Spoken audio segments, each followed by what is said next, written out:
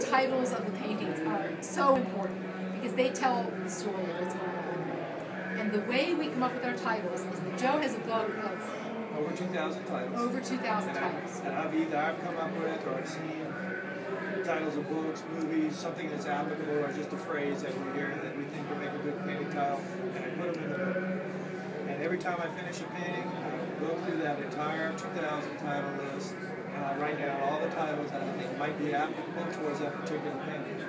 At the end of the day, I take the painting, I set it up on our mantelpiece at home, on our fireplace. Stephanie gets a glass of wine, she sits down, a comfortable chair, and I read the titles off to her.